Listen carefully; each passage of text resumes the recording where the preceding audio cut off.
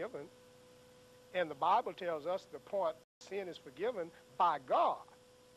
Now, if you're looking for man to do it, maybe you can get it in the Baptist church. But by God's standard, the Holy Spirit has a seal that is forgiven, washed away when a person is baptized.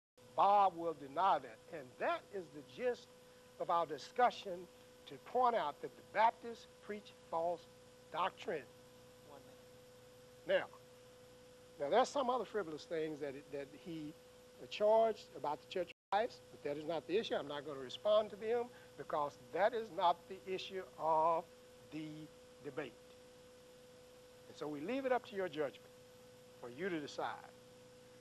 Has Bob proven the negative that the Baptist Church is not a false religious Christian organization, that it does not teach false doctrine, that it is that it, it is not false in worship, that it does bear a scriptural authorized name.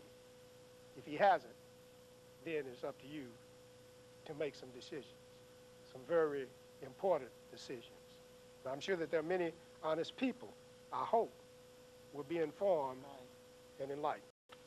Okay, we want to thank you for tuning in to today's television broadcast. We want to also thank Mr. Bob Ross, who participated in this religious dialogue and debate with our brother, Brother Don Bennett. We appreciate both of these men for conducting themselves in an intelligent manner and in a cordial manner. We appreciate the spirit that has been manifested here today.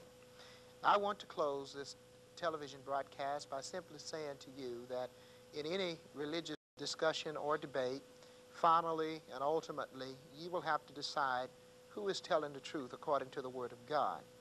The Bible teaches us in John chapter 12 and verse number 48 that the Word of God is going to be the standard by which we're judged in the final day. Therefore, it is incumbent upon you, as those who have viewed this debate and who are seeking for the truth, to open up the Word of God, the Bible, read it for yourself, study it, follow along. Not be misled because Jesus said that if the blind lead the blind, both shall fall into the ditch. So therefore, the Bible enjoins upon us the divine injunction to study, to show ourselves approved unto God, workmen that needed not to be ashamed, but rightly dividing the word of truth. The scriptures indicate that the word of God can be twisted, they can be it can be perverted, it can be wrested. Paul Peter said this in 2 Peter chapter 3, verse number 15 through 17. The word of God can be can be perverted. Therefore, it is important that you study the word of God for yourself. Don't let any man, not even myself, Brother Bennett, don't let any man, Mr. Ross, or any other man, just tell you what to believe. Open up the Word of God. Study it for yourself.